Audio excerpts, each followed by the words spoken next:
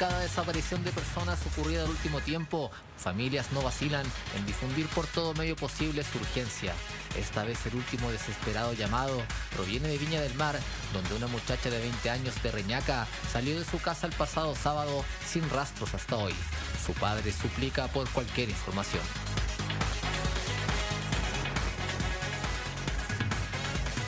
Ella salió, se supone, a alguna parte sin rumbo, digamos, conocido. Y obviamente que después de, ya del segundo día que no teníamos contacto, yo la llamé por teléfono el domingo, el día domingo no hubo ningún contacto ni con ella ni con el pololo que la anda acompañando. Y obviamente el día lunes ya la mamá, preocupada por la situación, eh, empezó a hacer, hizo la denuncia en Policía de Investigaciones. Su nombre, Pilar de los Ángeles e Iglesias Campos. La joven es estudiante universitaria y según relato de la familia, de personalidad más bien introvertida. Lo preocupante por el momento, el conocimiento de que la relación que Pilar tenía con su pololo de la misma edad no era sana, a raíz de violencia que el joven ejercería con ella según testigos. Por lo que yo observé no era buena, yo diría que iba de mal en peor. Recién nos llamó una testigo, que esto es anterior a, digamos, a la fecha de desaparición, de que ella vio y constató, porque como vio la foto de Pilar en redes sociales, un episodio de violencia de parte del pololo hacia ella, con golpes e insultos. Este episodio previo a su desaparición es justamente lo que hoy más inquietos mantiene a los padres de Pilar. La persona, digamos, cuando la vio, cuando vio a, Francisco, lo vio demasiado violento, con cara de loco, dijo que nunca había visto una persona con esa cara de, loco y, y que la golpeó. Desde entonces ambos están con la señal de sus teléfonos inubicables. A un. La inestable situación psicológica de Pilar se suma a la misteriosa personalidad de este joven, descrita derechamente como violenta por esta testigo, de la cual la familia de Pilar no estaba en conocimiento. Esto en circunstancias de una etapa del desarrollo de esta joven donde intenta encontrar su norte en la vida. Bueno, en general ella es una chica muy alegre, muy emprendedora. eh, se entiende que iba por muy buen camino porque había entrado a estudiar una carrera universitaria que finalmente dice que no le gustó y que por lo tanto andaba buscando el cambio. Después empezó a hacer dentro, digamos, de su tratamiento psicológico porque tenía muchos, digamos, episodios de, como depresivos, entonces empezó, digamos, a, a buscar otro camino, eh, quiere estudiar otra cosa, empezó a hacer deporte, hizo un curso de buceo, quería hacer un curso de escalamiento, eh, cursos de inglés, eh, pero finalmente ahora como que se está perdiendo demasiado, digamos, de la orientación de ella en, en ese sentido. Fue en el sector de los almendros desde donde partió aquel sábado, pero una luz de esperanza llegó rápido para luego desvanecerse en voces que señalaron haberla visto el pasado martes.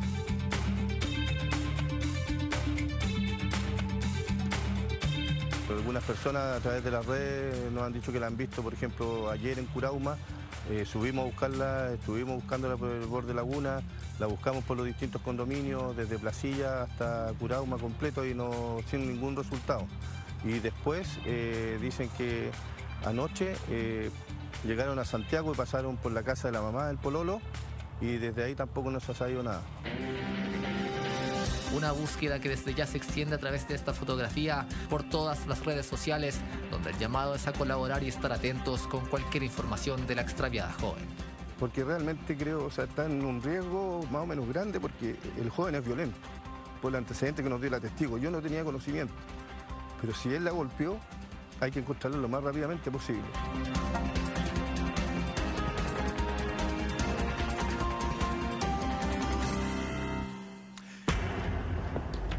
Aquí en el estudio de la Chile nos acompaña el padre de Pilar, el papá de la Pili, José Luis Iglesias, quien ha venido desde Viña del Mar a conversar con nosotros en busca de, de alguna ayuda, algo que nos permita encontrar luego a, a la Pili.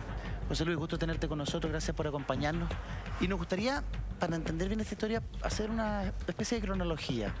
El día sábado ella estaba en la casa de su madre, en el sector de los almendros en Reñaca, y sale con su pololo. Correcto, sí. ¿Esa fue la última vez que se le vio? Sí, esa fue la última vez que se le vio y bueno, ahí ya, bueno, la mamá siempre, uno espera porque son adolescentes, un tiempo prudente para poder, digamos, que lleguen a la casa, porque ella generalmente llega a la casa, siempre avisa, llama por teléfono, entonces pasa el día sábado, pasa el día domingo Y ya el día lunes en la noche la mamá me llama y me dice, "Oye, la Pili no aparece, no estamos en ninguna parte.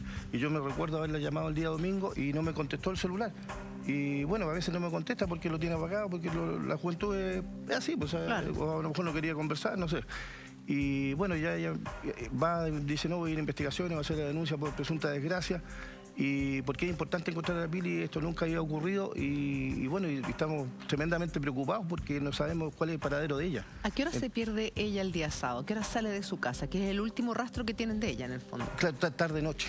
Tarde noche, De- tipo 6. Tipo 6 de la tarde. Y ella dice, ella sale sola, sale acompañada No, sal- pololo. sale con su pololo, sí. Ellos estaban en la casa ese día. Ellos estaban en la casa ese día, sí. ¿Y salen rumbo a qué parte? ¿No le dicen? Rumbo a Reñaca, a seguramente a alguna parte, porque muchas veces ellos también, eh, de, de las veces que han estado en Reñaca, salen a andar en bicicleta. Un tiempo mi hija también hizo este famoso Uber Eats, también Ya. ocupó la bicicleta para eso, entonces iba y volvía.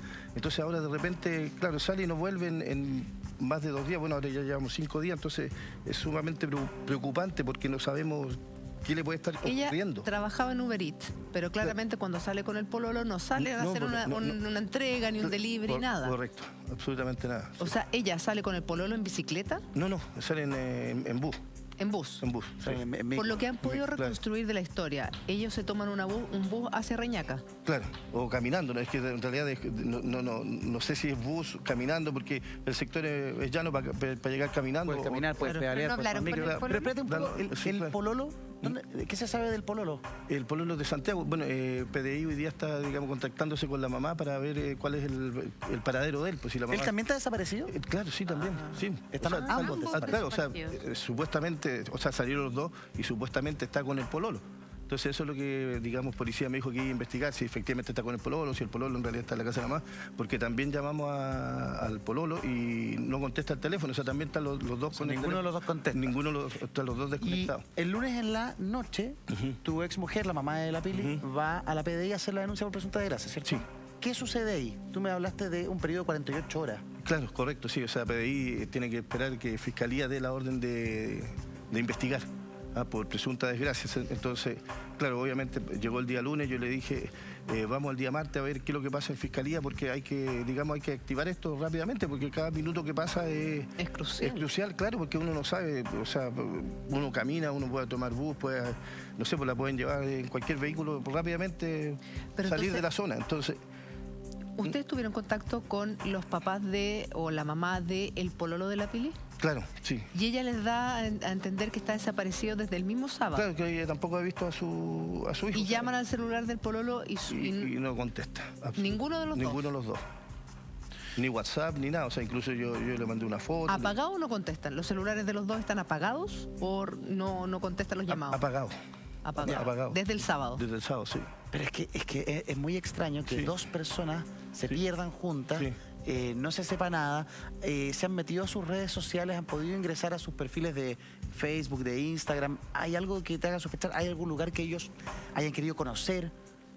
Que yo sepa, en realidad no. O sea, generalmente ellos están en Viña, recorren los lugares de Viña, seguramente van a visitar amigos amigas, pero más de eso. Y La geolocalización de los celulares, por ejemplo, porque ya han pasado cinco días, Sí. me imagino que ya en el fondo han interceptado los celulares, si es que han usado las tarjetas bancarias, si es que han sacado plata en los cajeros automáticos o tarjeta de crédito. Claro. ¿Han, han rastreado por ahí o eso es un proceso que todavía no han un, un iniciado? proceso que está que partió ayer en la tarde. Ya. Partió con, digamos, con la PDI, que PDI, digamos, tiene que hacer, todos esos protocolos, digamos, de investigativos para, digamos, para ver si, porque también todo va- pasa por órdenes de fiscalía. Sí. O sea, yo, yo igual hablé con la mamá, le dije, oye, que nos intervengan a todos los teléfonos por si de repente hicieran, hicieran un llamado y por esa llamada, digamos, pudiéramos pesquisarla. Claro. Pero tiene que haber una orden de, de fiscalía para que Eso se- era lo que se le iba a consultar, que Claro. cuando usted fue a la fiscalía, ¿qué, qué le dijeron allá? ¿Cuál fue la instrucción que le dieron? ¿Le dijeron que, que esperara en su casa, que esperara en su teléfono? ¿Cuál fue la instrucción que le dio la fiscalía a...? A, a la mamá de, de A la mamá de su hija, le, le dijeron que tenía que, que esperar que eh, se diera la orden para que Policía de Investigaciones empezara la búsqueda. Solamente eso. Claro, y eso ocurrió ayer. Pero es raro porque, o sea, las policías se Mm. han concentrado en decir que esto de las 48 horas es un mito, Claro. que No. no es una realidad, que uno a la hora de ver que no llega un familiar puede dirigirse tanto a la PDI como a eh, carabineros para destampar una denuncia por presunta desgracia.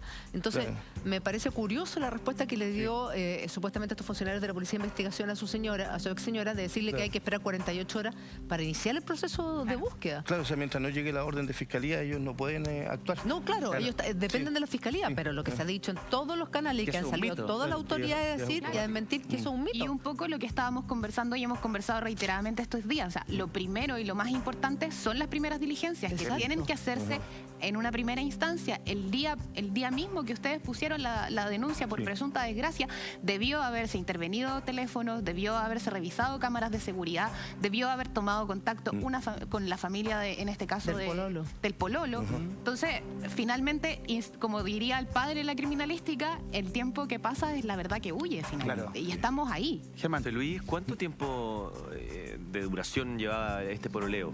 ¿O lleva este pololeo? Eh, seis meses, cinco meses. Seis meses. ¿Y en estos cinco meses nunca habían eh, huido o habían pasado un día fuera de la casa? Eh, no, o sea, bueno, obviamente en alguna fiesta, obviamente que sí, pero más que eso, o sea, lo normal, digamos, de un, de un, pareja adolescente, o sea, ¿Y el pololo Claro. usted lo conocía? ¿Tenía relación con él? ¿Era parte, ya son seis meses, era parte de la Sí. familia? ¿Cómo, cómo era el ¿cómo era la dinámica así? Claro. del pololo?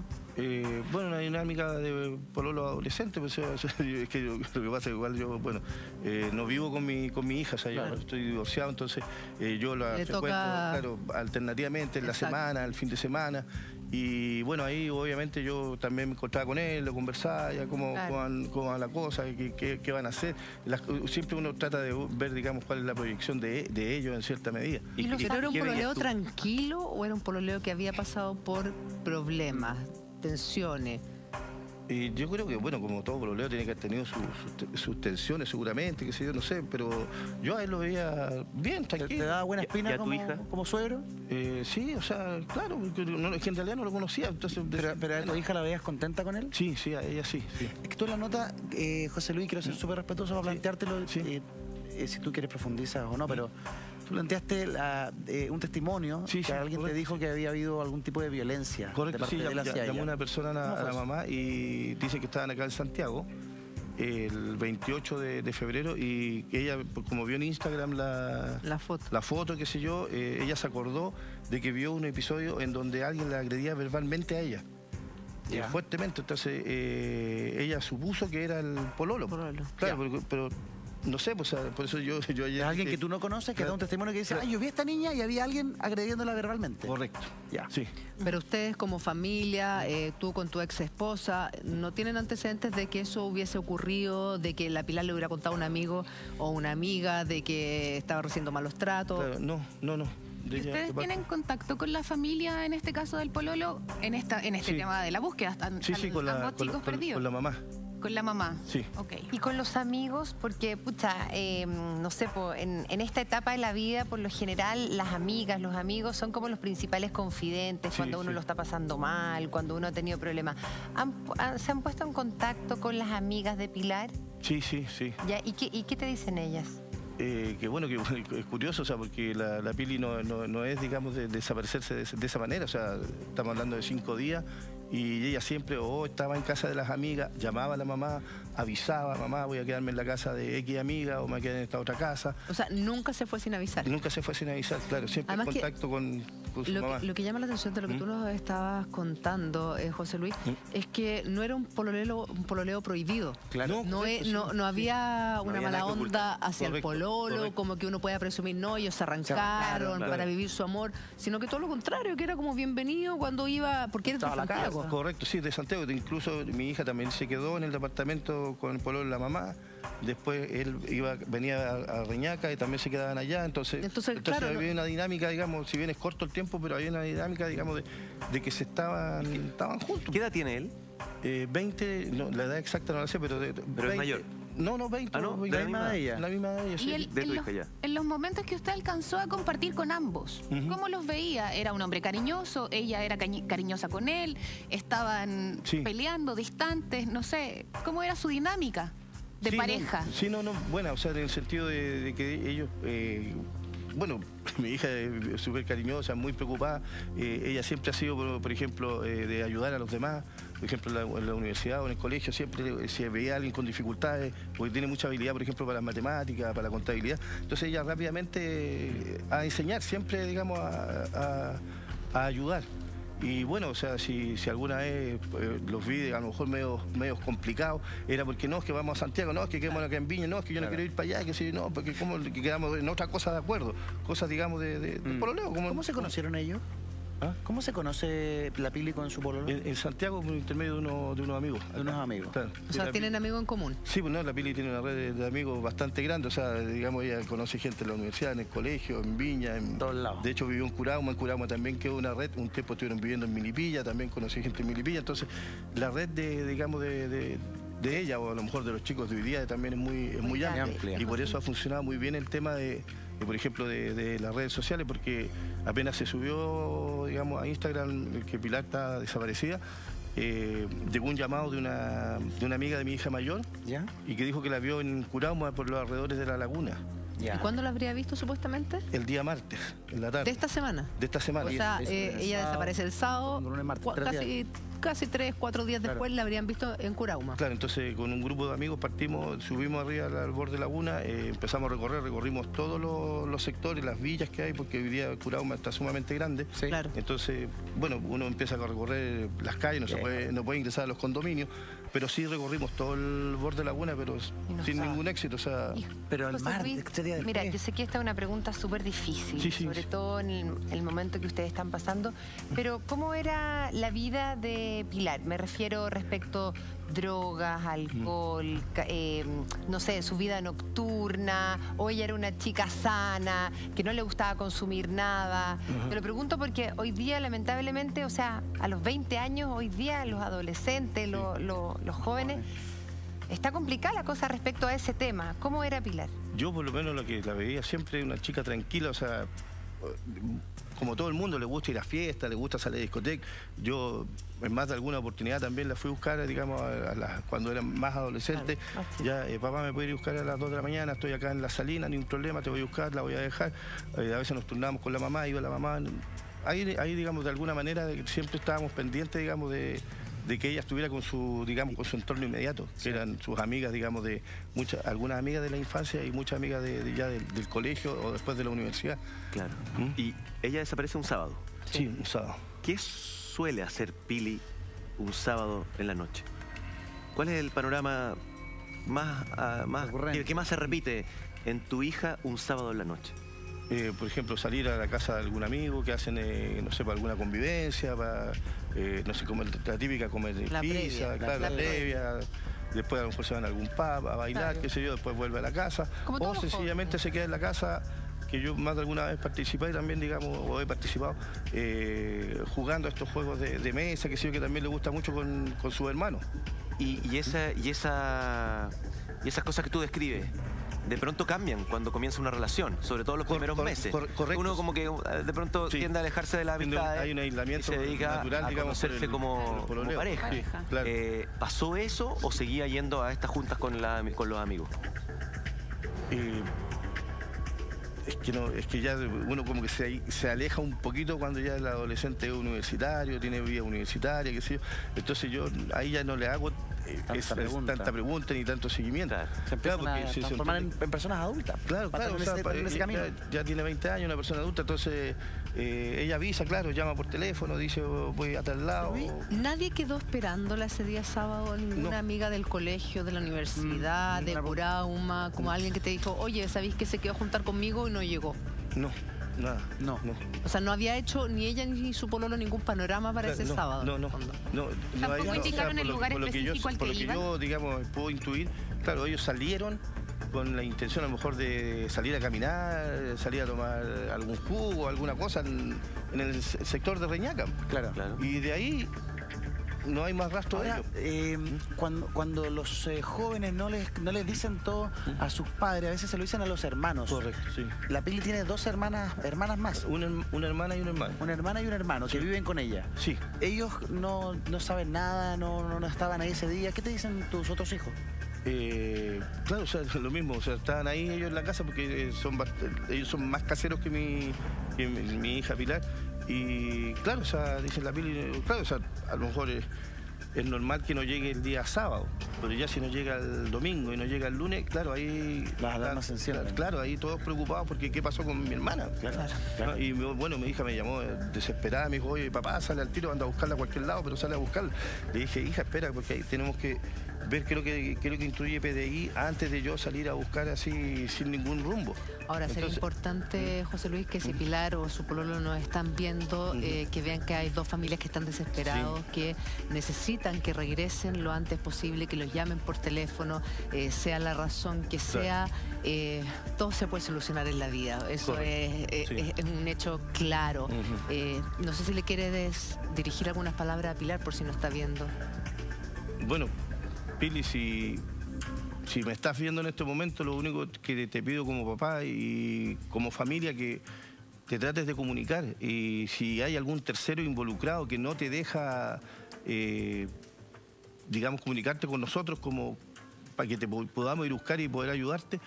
eh, a ese tercero también le pido que por favor eh, se, se le digamos ponga la mano en el corazón y vea que hay una familia, una mamá, unos hermanos que están desesperados por estar contigo. Nosotros te necesitamos, eres, eres nuestra hija. Y eres una hija hermosa, eres una hija que tiene mucho futuro. Ella, ella, ella siempre ha sido muy colaboradora con su hermano. O sea, también ella, eh, yo, la, yo la veo y, es- y eso también a lo mejor la lleva a hacer esto, o sea, porque es muy, es muy, es- es muy impulsiva. O sea, en el sentido de, de que ella quiere hacer las cosas, quiere ir a ayudar y, cree- y ella cree que a lo mejor puede sola. ¿Ah? Y si alguien la está a lo mejor, eh, no sé, pues, eh, embaucando, reteniendo, aprovechándose de esta nobleza que tiene ella, tiene que, tiene que soltarla. O sea, no, no, Sí. si es un tercero, que por favor no la tenga. Y si Pili, si tú estás con algún problema personal conmigo, con tu mamá, con tu hermano, tienes que acercarte a nosotros para que nosotros te podamos ayudar. Nosotros te necesitamos. Eres una chica hermosa, deportista, eh, tienes mucho talento. Y yo te amo, te amo con todo el corazón. Y si tú quieres vivir conmigo, eh, a, lo mejor, eh, a lo mejor ese es el problema que, que te puede estar gatillando, no pierdas cuidado, que yo vivo contigo y te doy todo mi corazón para que tú salgas adelante, hija. Te necesito. Yo te amo. Y toda tu familia y todo tu entorno. Tú no sabes la cantidad de gente que ha llamado por ti, que nos ha, nos ha apoyado y nos ha dado todo su apoyo. Gracias, José Tremendas Luis. palabras, Gracias. José Luis. Ojalá que Tremendo. Pili nos pueda estar viendo, que pueda aparecer lo antes posible. Ella, su pololo. Si usted tiene información, si la ha visto, eh, comuníquese con la Policía de Investigaciones, comuníquese con Carabineros, escríbanos al WhatsApp que está apareciendo en pantalla. Nosotros vamos a estar al tanto y siguiendo el caso. Cualquier novedad que tengamos, José Luis.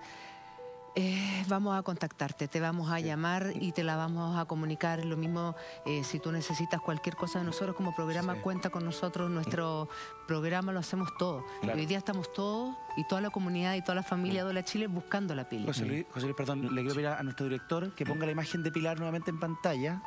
10 segundos más, por favor. Y que la gente en su casa le tome un pantallazo con su teléfono. Sáquele una foto, sáquele una foto a la pantalla y ande con esa foto en su teléfono día y noche. Si usted ve a esa chica, se llama Pilar Iglesias y está perdida desde el día sábado. Su padre está sufriendo, su madre está sufriendo. Necesitan encontrarla. Pilar, si nos estás viendo, comunícate. Y si hay alguien que la tiene retenida contra su voluntad, como dijo José Luis, que se ponga la mano en el corazón. Gracias, José Luis, por acompañarnos. No, gracias a ustedes por dar este espacio y bueno, felicitarlos por el trabajo periodístico que ustedes hacen y bueno, espero lo más luego encontrar eh, a nuestra hija, o sea, a Pili. Nosotros también, y Sí. te vamos a ayudar, Ya. no están solo en eso, en esto como familia, Sí. cuenten con nosotros, de verdad. Tenemos una tremenda comunidad en Twitter, una tremenda comunidad en Instagram que en estos momentos ya comenzaron a poner la fotografía de Pilar, de su pololo, porque la idea es encontrarlo lo antes posible. Muchísimas gracias, José Luis. Vamos a seguir en contacto y lo que necesites para eso acá está.